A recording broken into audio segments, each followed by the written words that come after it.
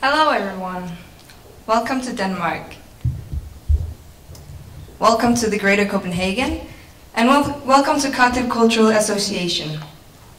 For the members that are already here, welcome back. My name is Mechid Paiman and I'll be talking a little bit about this event of appreciation.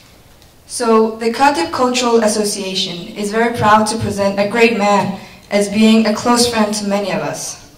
And it's our honor and we are very proud to share this appreciation in, through this gathering to the one and only Mr. Hussain Ali Hassan. Hussain Ali Hassan, or more popularly known as Hussain Afghani, and as we know him, Hussain Babai. He was born in Waras in Hazaristan in Afghanistan, and this is where he spent his childhood. And when he was a teenager, he moved to Iraq, and then afterwards he moved to Pakistan. In the 1960s, he moved here to Denmark along with some of his friends, and this is where he's been ever since.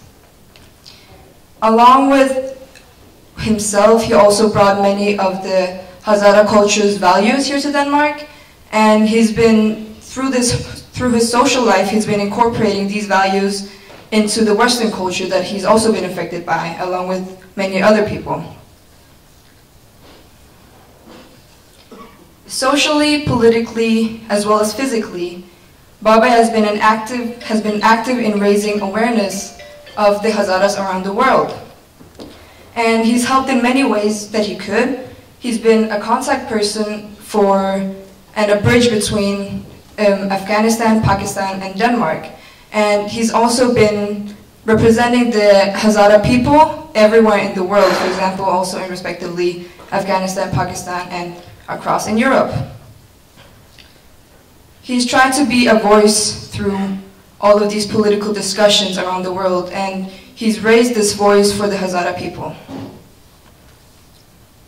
Since the establishment of the Hazara Student Federation, that was established in 1974 in Quetta in Pakistan, Babai has been an active supporter, both financially, morally, as well as spiritually. And the Hazara Student Federation, or the HSF, has been the cradle of all Hazara leadership that has been in Pakistan.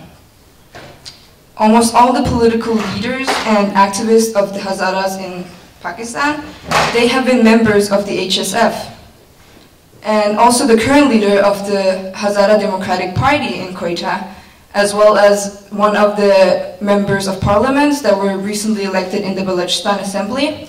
They're all, they have all been former members of the HSF.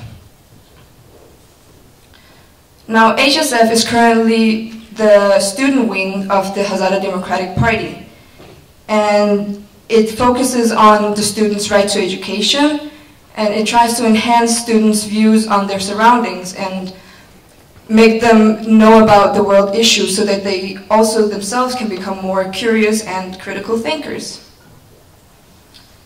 So clearly the HSF as well as education in general have been of utmost importance to Babai. And this is also shown in his great work and support for the HSF among other things.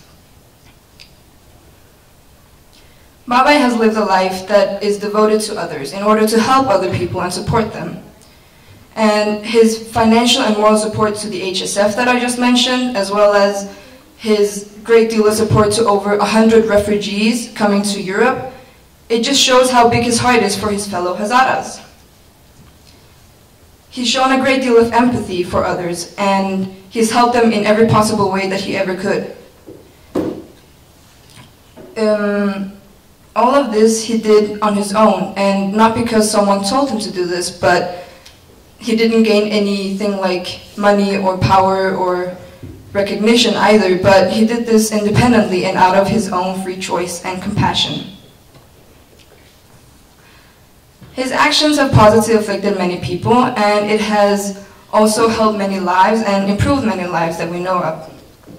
And this is why we're gathered here today, from Australia to America, from local to global, to pay tribute to a man that has been a leader, a man that has been a philanthropist, a friend, an uncle, a leader and a pioneer.